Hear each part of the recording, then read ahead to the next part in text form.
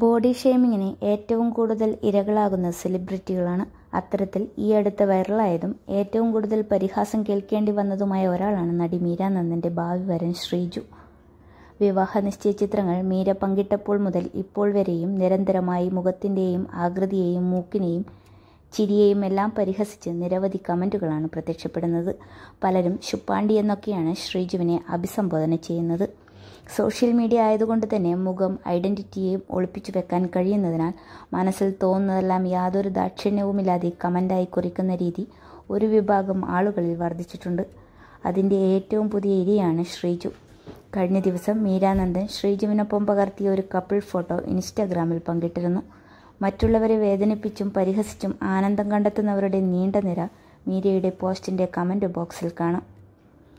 കാശു മാത്രം കണ്ടാണ് ശ്രീജുവിനെയും വിവാഹം കഴിക്കാൻ മീര തീരുമാനിച്ചതെന്ന് വരെ യാതൊരു അടിസ്ഥാനവുമില്ലാതെ പറയുന്നവർ വരെ കമന്റ് ബോക്സിലുണ്ട്. പണം വിജയിക്കുമ്പോൾ മീരാനന്ദൻ നിങ്ങൾക്കും ഒന്നും തോന്നരുത്. തനിക്ക് അയാൾ ഒട്ടും മാച്ചല്ല. ശുപ്പാണ്ടി തന്നെ. എന്തിനവനെ കെട്ടി? കാശ് നോക്കിയാൽ മതിയോ? ജോഡിപ്പൊരുത്തവും നോക്കണ്ടേ?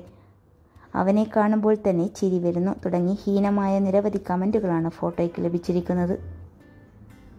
അതേസമയം മീരയെയും വരനെയും അനുകൂലിച്ചും കമന്റുകളുണ്ട് ഒരു മനുഷ്യനെ പലരും വിലയിരുത്തുന്നത് അയാളുടെ സൗന്ദര്യം നോക്കി മാത്രമാണ്.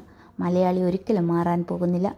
കമന്റ് സെക്ഷൻ വായിച്ചാൽ അറിയാം ഓരോരുത്തരുടെ മാനസിക നില എത്രത്തോളം മൃഗീയമാണെന്ന്. നിങ്ങളുടെ കണ്ണുകളിൽ കാണുന്നതാണ് ഏറ്റവും വലിയ സൗന്ദര്യമെന്നാണ് ഒരാൾ മീരയെ പിന്തുണച്ച് കുറിച്ചത്. ഒരാളുടെ ശരീരഭാഷ നോക്കി കളിയാക്കാൻ മലയാളികളേക്കാൾ കഴിവുള്ള വേറെ ആളുകളില്ലെന്നും കമന്റുണ്ട് കൊച്ചി എളമക്കര സ്വദേശിനിയായ മീരാനന്ദൻ ദുബായിൽ റേഡിയോ ജോക്കിയാണ്. മാട്രിമോണി സൈറ്റ് വഴിയാണ് മീരയും ശ്രീജുവും പരിചയപ്പെടുന്നത്.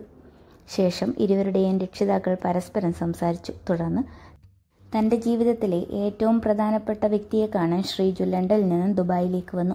അങ്ങനെയാണ് ഇനിയുള്ള ജീവിതത്തിൽ ഒരുമിച്ച് യാത്ര ചെയ്യാമെന്ന് മീരയും ശ്രീജുവും തീരുമാനിച്ചത്.